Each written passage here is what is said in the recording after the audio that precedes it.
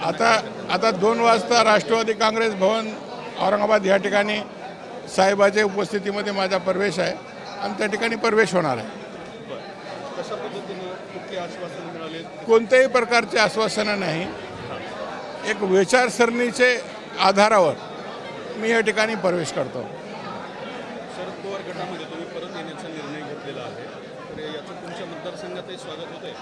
मतदारसंघात काय आहे? पूर्ण राज्यात स्वागत होते काय आणि सब कसं आहे की संबंध धर्मनिरपेक्ष विचाराने जे जे पक्ष एकत्र येऊन या राज्यामध्ये देशामध्ये राजकारण करते. देशामध्ये संबंध देशामध्ये मुस्लिम समाजाची मोठ्या प्रमाणावर कुचंबना होते. आणि मुस्लिम समाज अजिबात जे जे पक्ष भारतीय जनता पक्षासोबत आहे त्याला मतदान करायला अजिबात तयार नाही. अशा परिस्थितीमध्ये एखाद्या पक्षासोबत आपण राहणं आणि त्या ठिकाणी काम करणं हे अवघड होते.